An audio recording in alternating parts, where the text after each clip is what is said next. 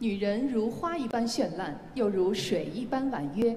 接下来要请您欣赏的这首乐曲呢，它是根据同名歌曲改编而成，表达的正是女性的温文尔雅。那现在呢，就请您欣赏这首由陈耀川作曲，江莹编配，二胡笛子与乐队演奏的女人花。一起来，有请青年二胡演奏家胡焕和青年笛子演奏家丁小葵。有请。